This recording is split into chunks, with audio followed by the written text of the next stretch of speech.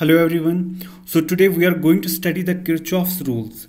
Kirchhoff gave the two rules for solving the complicated electrical circuits. So we are using the Kirchhoff's rules for solving the complicated electrical circuits. We have the Ohm's law, but that is for the simple circuit. But once we will deal with the complicated circuits, we use the Kirchhoff's rules.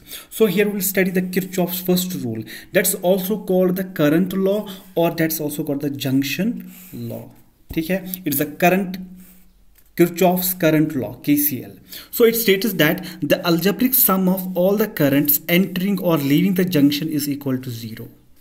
Fine. What is junction? Junction or node is a in a circuit is a point where two or more conductors are connected electrically. So junction or a node, what is junction? Junction or a node is a point where two or more conductors are joined electrically. So According to the Kirchhoff's first rule, the algebraic sum of the currents meeting at a point is equal to zero. That is the sum of the currents entering a point is equal to sum of the currents leaving the point. But here we are using some sign conventions.